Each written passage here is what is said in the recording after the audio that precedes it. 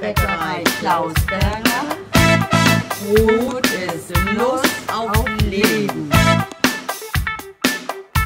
Ein Klausberger. Wir kennen Klaus, den Klausberger. Klausberger ist unser Arbeitgeber. Der Chef von dem Ganzen. Klausberger ist unser Arbeitgeber. Das, macht richtig Spaß. Es gibt in Polen irgendwo so eine Stadt, die heißt Klausberg. Vielleicht hat die Familie da ihren Ursprung her, könnte ich mir gut vorstellen. Vielleicht auch auf Klausberger zurückzuführen. Wer weiß es? Wer weiß es nicht. Stadtbäckerei Klausberger. Brot ist Lust aufs Leben. Ja, komm, bring rein. Äh, gutes Brot, Ein gutes Brot. am Schmecken, Im Geschmack, Daran, dass ich weiß, wo es herkommt. Aussehen. wie es sich schon anfühlt, wenn ich es in die Hand nehme. diese Vollmundigkeit. Und dass ich weiß, dass gescheit eingekauft wird und gescheite Zutaten gekauft werden. Vielleicht schon am Geruch. der Duft und der gewisse Biss. Diese Körner dazwischen. Daran erkennt man ein gutes Brot. Also mein Lieblingsbrot ist äh, Schwarzbrot.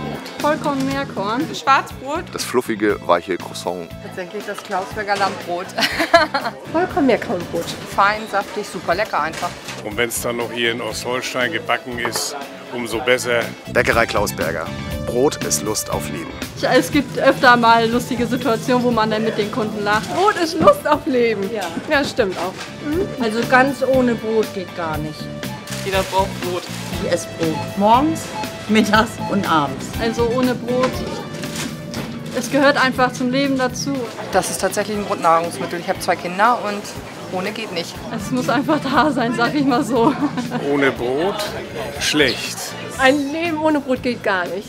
Äh, unser Brot backen die Bäcker in der Backstube. Die Bäcker sind cool, auf jeden Fall.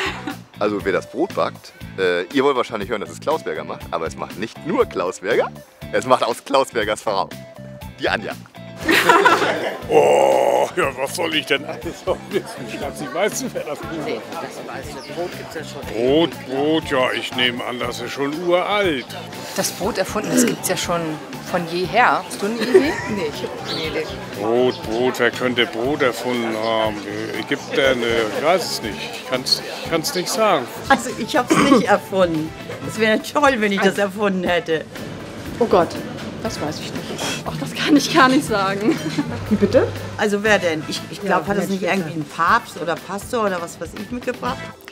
Das Brot, meine lieben Freunde, das Brot, das hat der Ur, Ur, Ur, Ur, Ur, Ur, Urgroßvater von Anja Klausberger erfunden.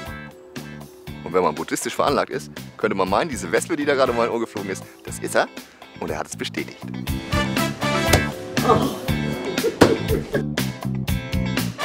Bei uns wird Frische noch groß geschrieben. Guten Appetit.